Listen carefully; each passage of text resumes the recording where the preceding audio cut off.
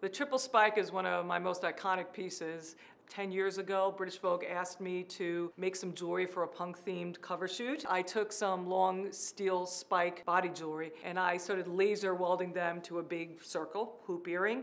And I started playing with the orientations, one larger on the bottom, two smaller on the outside. I even lasered some on the inside of the rings.